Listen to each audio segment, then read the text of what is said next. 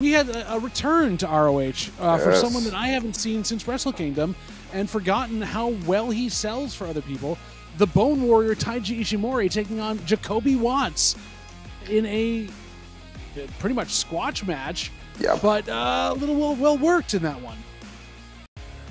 Yeah, I I was super happy to see Ishimori back in. I mean, just back somewhere where I could watch him wrestle. I was super happy when he popped back up in New Japan as the new Bone uh, Bone Soldier. Uh, I was super happy for him, but now I'm happy for us